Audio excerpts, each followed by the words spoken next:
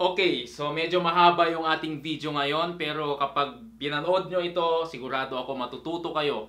Ang unang pag-uusapan natin ngayon ay ang reproductive system ng babae. Pangalawa, ang pag-uusapan natin ngayon ay ang ginagampanan ng progesterone para sa timing ng pagpapasampa ng aso. Pangatlo, or ano yung pwede nating gawin para maging marami ang anak ng inyong aso. Pang-apat, meron bang baog na lalaking aso, hindi siya nakakabuntis. At panglima, maari bang ipa-stud ang aso ko sa dalawang lalaki. Yan ang mga pag-uusapan natin ngayon. Hi, ako nga pala si Tony Boy, ang inyong veterinarian. At kung bago ka sa aking YouTube channel, please like and subscribe at i-share mo naman yan. Okay, sa unang topic natin, magdodrawing ako ng reproductive system ng babaeng aso. Okay, so yung drawing ko na ito ay kumbaga hindi siya eksaktong ganyan pero para mas maintindihan nyo po ng lalo, sisimplihan lang natin yung mga drawing po natin. So ito po, sa, ito po ay ang tinatawag na vulva.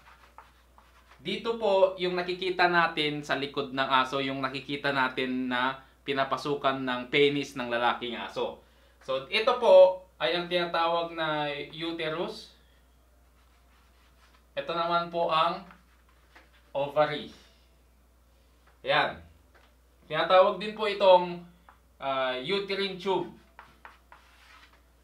Tinatawag din po itong uterine tube. Ito po yung uterus, ito po yung ovary, at ito po yung vulva. Kapag nagkaroon po ng uh, paglalandi ng aso o yung uh, stud, dito po pumapasok yung penis ng lalaki. Yan, dyan po pumapasok at dito po lumalabas yung similya ng lalaking aso. Kapag po nagkaroon ng stud o yung pagpapasampa sa aso, ang similya po dito sa uterine tube ay nabubuhay ng uh, ah, 5 to 7 days po na nabubuhay dito. 5 to 7 days na andyan po yung similya, pwede po siyang mabuhay dyan ng 5 to 7 days. Ngayon, pag-uusapan po natin kung ano ba ang ginagampanan ng mga part na ito. Ang ovary, dito po linalabas ng female ang kanyang mga itlog para mag-meet sa sperm o similya ng lalaking aso.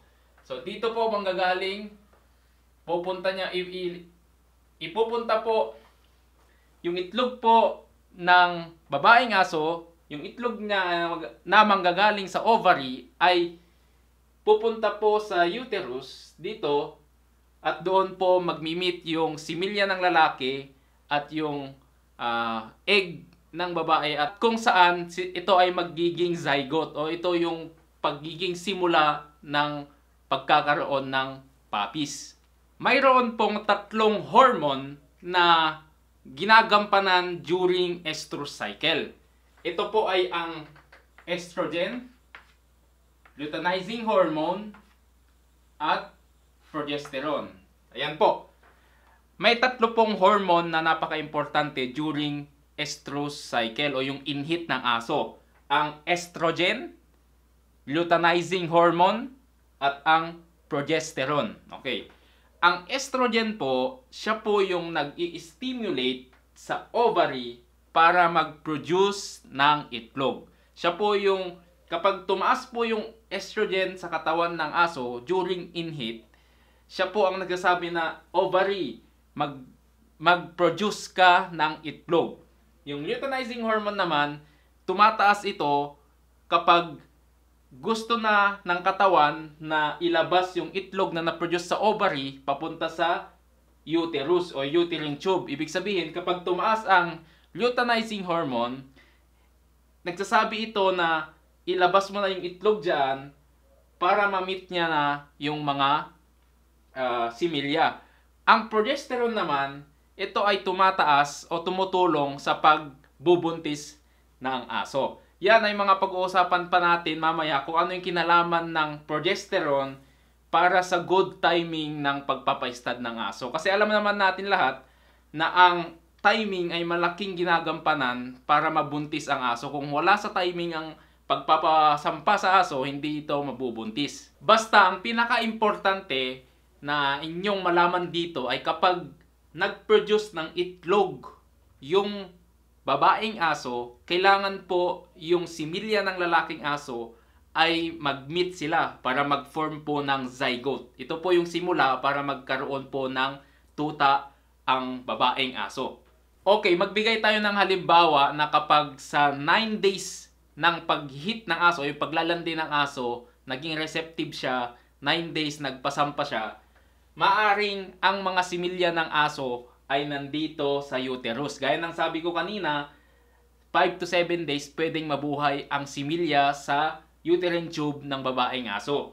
Kapag 9 days, 9 day na siya pinaistad, di natin malalaman talaga kung anong araw naglabas ng itlog ang ovary. So kaya hindi natin masigurado na kapag sa last day of stud, sabihin na natin uh, day 11, day 13,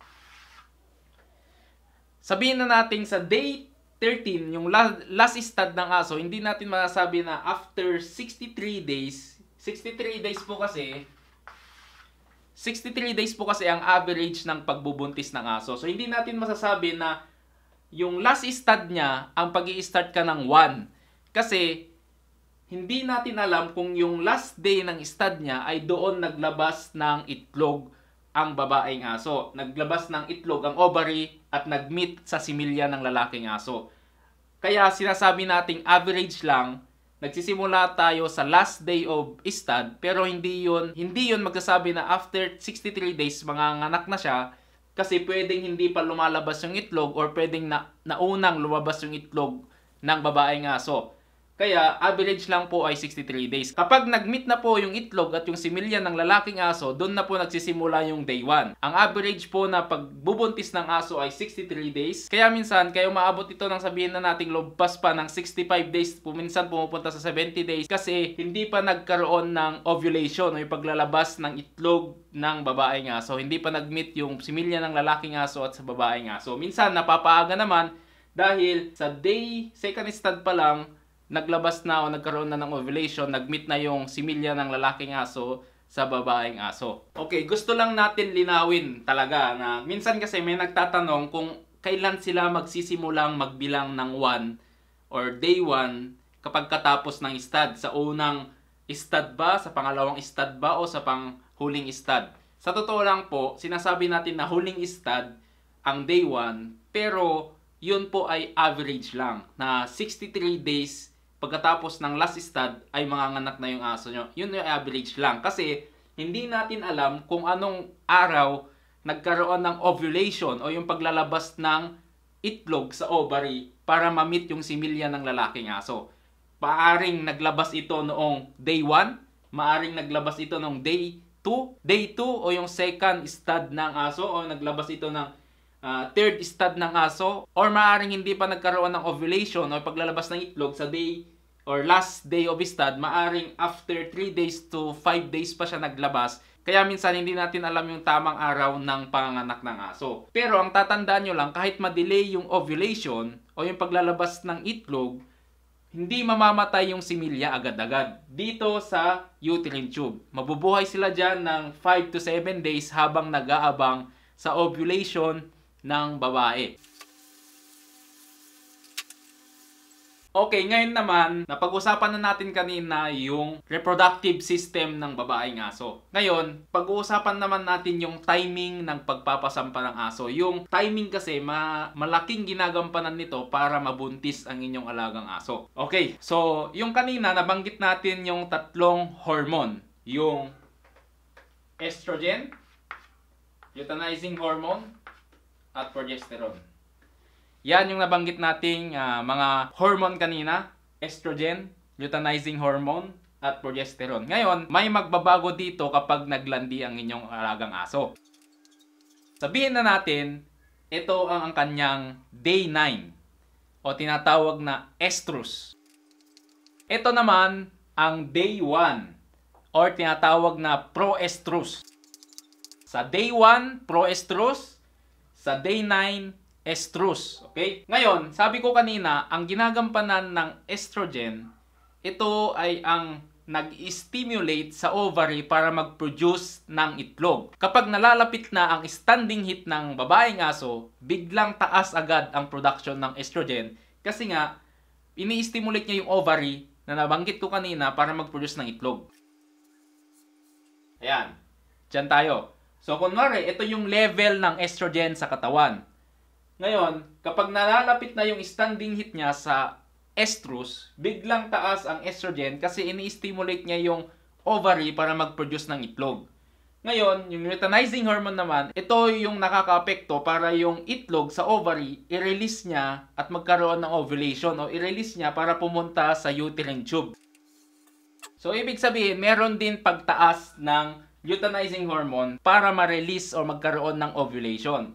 Ang progesterone naman, sa proestrus, makikita natin na meron ng pagtaas ng progesterone. Ito po ang day 9 o yung tinatawag na standing heat. Okay, mas ipapaliwanag ko pa.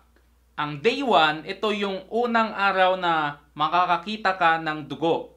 Yun ay proestrus po ang tawag doon. Doon, ay makikita natin na tumataas po ang progesterone levels. Pwede nyo pong gawin ang tinatawag na progesterone test. Sa mga araw po na ito, maaari nyo pong gawin ang progesterone test. Okay. So, sa day 1 hanggang 9, yung day 9 po, ito po yung araw ng pagpapa-stud. Ito po yung standing heat. May mga videos po ako dyan na nagpapaliwanag yung mga signs ng standing heat. Pero ito, tinitignan natin yung hormone para malaman talaga natin yung ovulation. Ibig sabihin ko ng ovulation kung kailan siya maglalabas ng itlog. At isipin na lang natin kung nasa timing tayo na maglalabas ng itlog yung babaeng aso at pina-stud natin ito at hindi na may store yung similya sa uterine tube, sure na mabubuntis yung aso. So ipagpalagay natin na day 9 siya magkakaroon ng ovulation.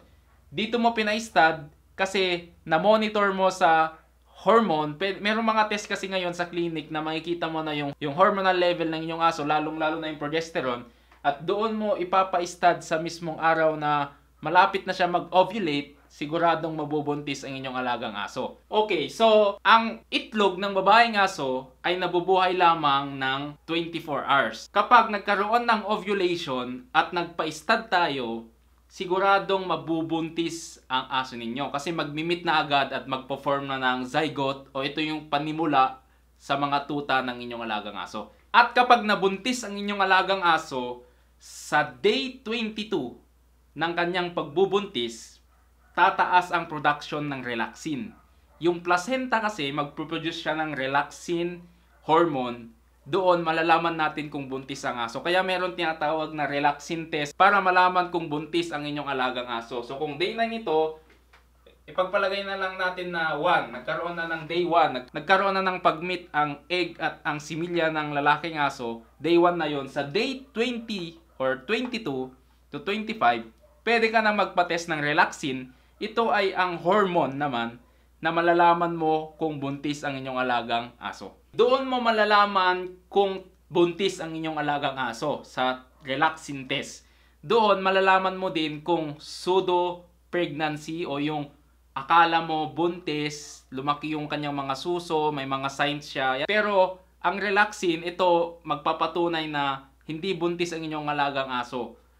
Pwedeng malaman mo kung pseudo pregnant ang inyong alagang aso. Ang relaxin test, ang pinakamaagang test para malaman mo kung buntis ang inyong alagang aso.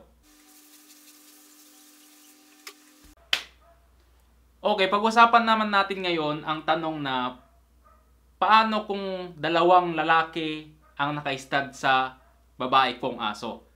So, pag-usapan natin ngayon, possible ba na yung magiging anak nito ay dalawa ang tatay? Yan ay lilinawin natin ngayon, okay? Kapag na-stud ang babaeng aso, sabi ko nga kanina, pwedeng ma-store sa uterine tube yung similya, mabuhay sila doon ng 5 to 7 days. Pagpalagay natin na andito yung mga Pagpalagay natin na andito yung mga similya, nabubuhay sila ng 5 to 7 days. Ngayon, hindi pa nagkaroon ng ovulation.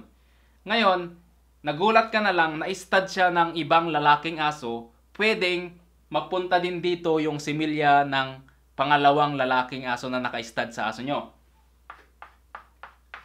Ngayon, kapag nagkaroon ng ovulation, maglalabas na ng itlog yung ovary, possible na yung similya ng unang lalaki at similya ng pangalawang lalaki ay makapag-meet sa itlog na i-release ng female na aso. Okay, so ito example yung itlog na release ng babaeng aso. Ito naman yung similya ng lalaking unang stud. Pupunta siya sa isang itlog, yung pangalawang stud, pupunta siya sa pangalawang itlog. At possible po yan. Pero yung magiging anak nito ay, ang magiging genetics nito ay nahahati lamang sa dalawa. Ibig sabihin ko, kung sino yung tatay niya at yung nanay niya, hindi pwedeng magiging tatlong breed agad siya. Ganito po yung ibig kong sabihin. Gaya ng sinabi ko kanina, may kinalaman ng ovulation, may kinalaman ang timing ng ovulation sa pagbubuntis ng aso. Okay. Meron kasing isang tanong sa akin, what if nag nasampahan yung aso niya ng ibang aso, ibang breed. Sabihin na natin, magbigay tayo ng magandang example. Meron akong golden retriever.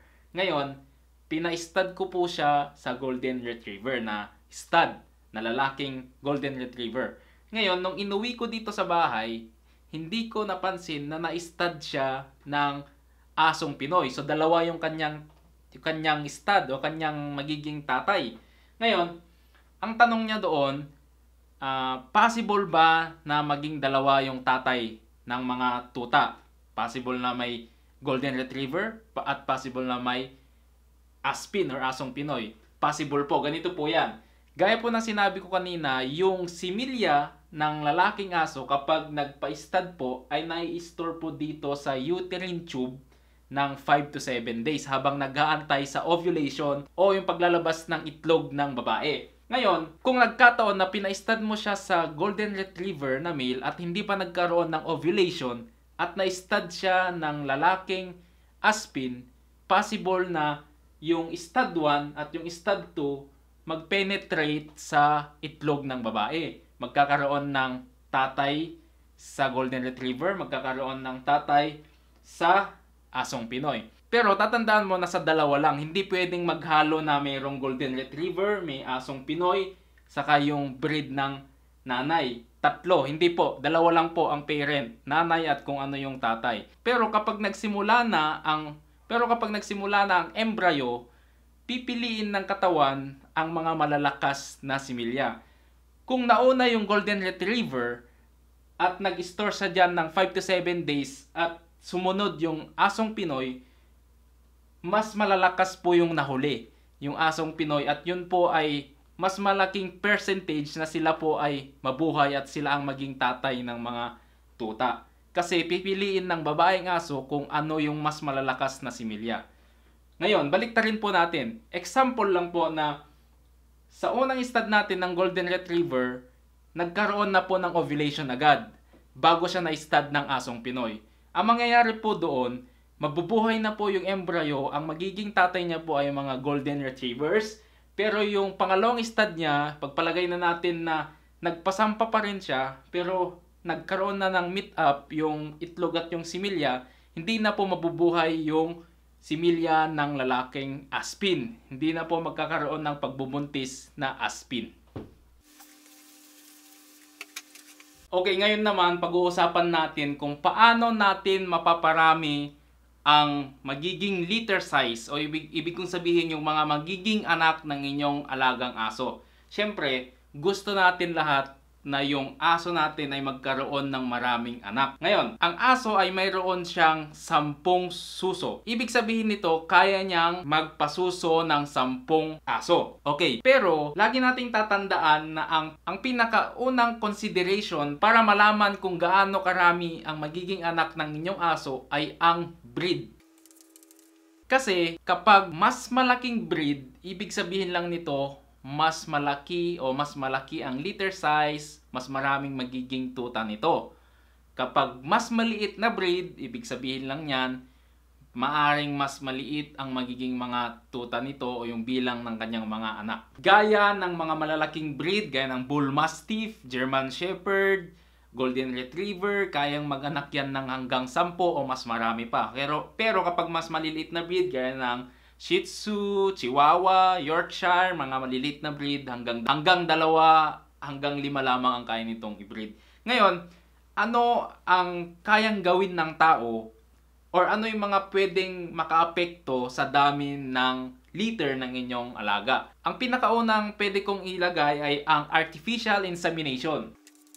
Ang artificial insemination, ito ay yung kokolekta sila ng similya ng lalaking aso tapos ilalagay na nila sa uterus ng babaeng aso na hindi na magkakaroon ng coitus o yung lock ng babae at lalaki. Dito masasabi ko na maapektuhan yung liter size ng inyong alagang aso, maapektuhan nito ang pagbaba ng pagkakaroon ng anak. Kasi sa prosesong ito, mas marami yung namamatay na similya kaysa sa natural mate. Ang natural mating po ay ang pagsampa ng lalaking aso na natural. Wala pong artificial na ginawa. Okay, ang pangatlo po na ang pwedeng makapekto sa dami ng anak ng inyong aso ay ang age.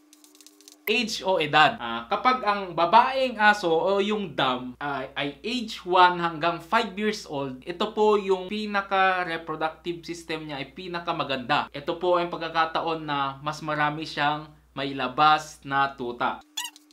Ito po ay bilang ng kanyang mga panganganak within 5 years. Example, sa una at pangalawa niyang panganganak ay hindi pa masyadong marami ang pwedeng ipanganak ito.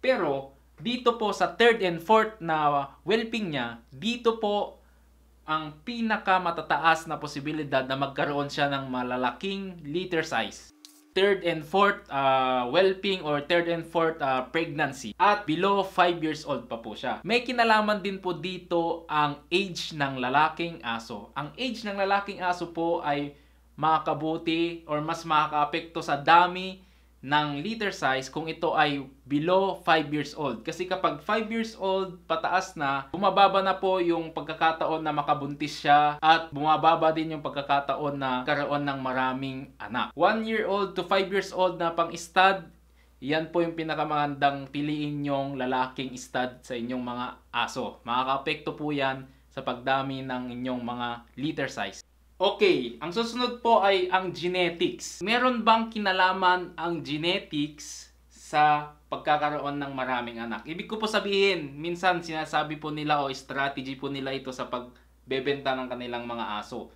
Sinabi nila na yung nanay niya po yan ay nagkaroon po ng uh, ah, 15 na anak at kapag bumili ka ng tuta niya, possible na magkaroon din ng 15 na anak yan. Genetics po gusto ko pong sabihin sa inyo, wala pong kinalaman ang genetics sa pagbubuntis o pagparami ng liter size. Hindi dahil marami silang magkakapatid at ay kapag nagkaroon siya ng anak ay marami din po ang kanyang magiging anak. Ang pag hindi po ganun yon. Sa genetics po, ang nakukuha lang nila ay kulay, kulay ng kanilang mata, gaano sila kalaki. Pero hindi ito makakaapekto sa dami ng magiging anak. Pangapat po na ililista natin ay ang nutrition. Ang nutrition po ay malaking ginagampanan din para maging marami ang anak ng inyong alagang aso. Kapag hindi po mataas ang protein ng kanyang mga kinakain, maaaring mababa po ang magiging liter size. Kapag super taba din niya, makakapekto ito sa kanyang pagbubuntis at bababa yung kanyang liter size. So ang nutrition po, malaki po ang ginagampanan nito para tumaas o dumami ang magiging anak nito. Kapag maganda ang nutrition, mataas ang mataas ang protein ng kinakain niya, kompleto sa bakuna, kompleto sa vitamins at lahat at talagang uh, healthy yung inyong alagang dam, possible na magkaroon siya ng maraming liter size.